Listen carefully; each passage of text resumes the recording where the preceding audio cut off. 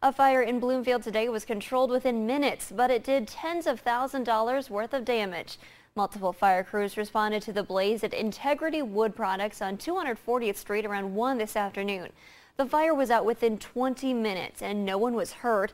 However, firefighters estimated about $30,000 worth of damage was done to the back of the building and machinery inside. Firefighters noted that if the building had been made of wood instead of metal, the situation would have been much worse.